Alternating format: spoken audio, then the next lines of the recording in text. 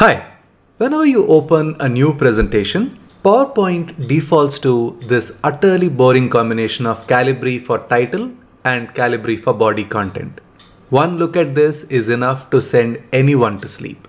In this video, I'll show you how to change the default fonts used by PowerPoint, be it for your title or for your body content. Not only that, you can even design your own custom theme and make that as your default way PowerPoint opens as soon as you start a new presentation. This tutorial can save you tons of time in the future, so watch it carefully. But before that, I am Ramgopal from presentationprocess.com, the creator of Ramgopal's PowerPoint Mastery Program, a comprehensive and creative PowerPoint training program for professionals. The first thing you do is to change your font theme. For that, first you go to View, Slide Master, go all the way up and choose this one called as Office Theme Slide Master. Then you go to Fonts and define your fonts for title as well as body font. Let me go to Customize Fonts to make that change. Here I can change my heading font. In this case, I'm going to choose Tw Cen MT condensed extra bold and here we have the heading shown as a sample. For body font, I prefer to use Calibri. However, if you want to change it, you can always go here and change it to anything that you like. Let us say I like Open Sans, so let me select that and you can see a sample here and it looks perfect. Let me give this a name. In this case, it is Ram's new font theme. Whatever name you want to give it, you can do so and you say save. Now that font theme is saved in PowerPoint. When you go to fonts, you would notice that there is this new option available and it is called Ram's new font theme. Now all I need to do is to close the master view, then go to design and then open this option here for the various themes and then go down and you say save current theme. Now you need to give this a different name. Let us say we want to call this test. I've already saved something as test so I'm going to replace that and let us say save. It says test.thmx already exists. Do you want to replace it? I say yes. And now I have a new theme saved as test.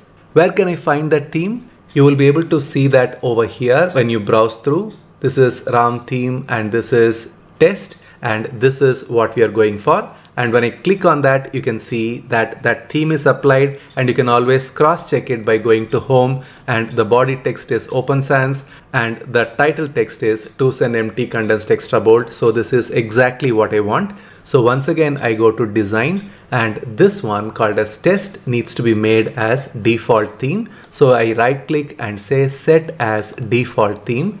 Now I can close this I don't need to save this at all. Then when I open PowerPoint, I have this option here called default theme. When I click on it or I just hit enter, it automatically opens to the new test theme that I had defined just now.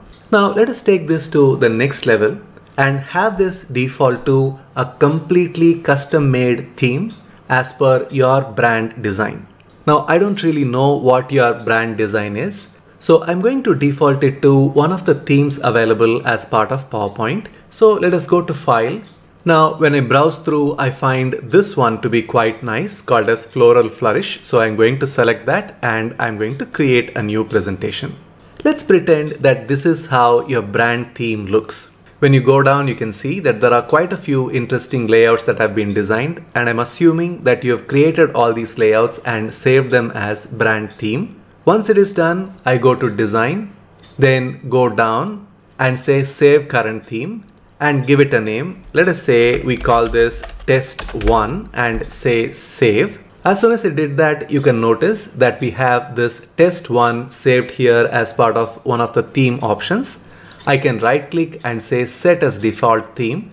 Now when I go to file, go to new, you can see that my default theme has changed. I just need to click on it and that opens up a new presentation with the brand theme that we had defined just now. Now, when I add a new slide by going here and by hitting enter, you would notice that the new layout is exactly as per the brand guidelines that you had just defined. The same way when I go to new slide, you can see that the various layouts that you had designed and saved as your brand theme are all available for you to use. You can select any of them and those are all available for you right in your default theme. So that is how you change your default font and even default theme when you open a new presentation.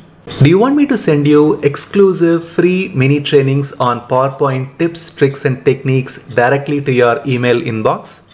Then click on the link in the bottom right of your screen and join our 25 creative PowerPoint ideas free mini training course. Then you will automatically be part of our Success by PowerPoint newsletter and receive more such mini trainings on an ongoing basis.